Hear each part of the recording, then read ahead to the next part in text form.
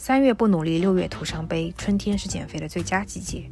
学会这款口感扎实、果香浓郁的全麦面包，或许能成为你减肥的必杀技。第一天先用全麦粉做个波兰波兰种的粉和水的比例是差不多的，但如果是全麦粉的话，水就得加多一点。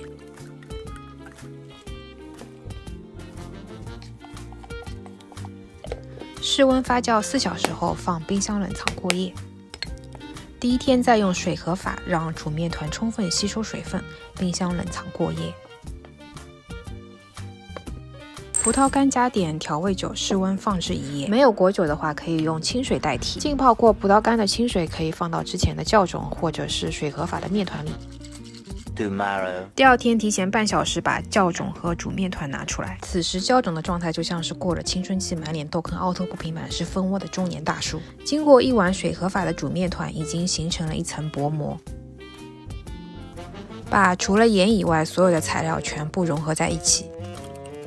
这里的水其实已经加多了。但其实是没有关系的，因为后续补救一下就可以了。之后需要进行四次折叠，然后每次折叠之间有半小时空隙。折叠的意思就是像这种用翻折的手法来揉面团，每次折个几次就可以了。折叠一两次，如果觉得面团还是很湿的话，那就再往面团里面加粉。当第三次折叠的时候，可以明显的感觉到面团开始有了弹性。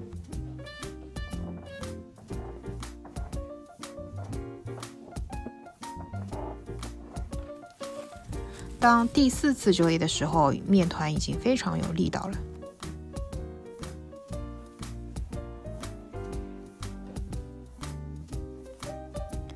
此时加入所有的果干，稍微拌一下，然后开始基础发酵。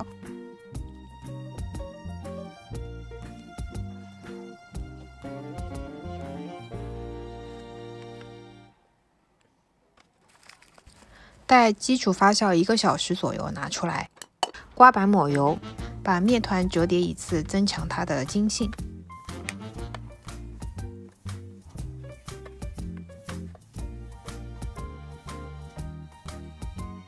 然后再继续发酵一个小时左右，发酵到两倍大。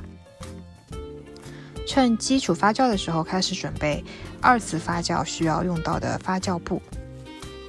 基础发酵完毕后，开始做整形。因为这款是高水分的面包，所以此时的面团会非常粘手。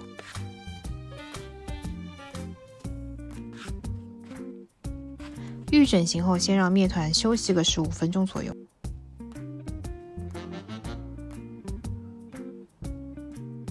手掌呈弓形，把面团拍成长方形。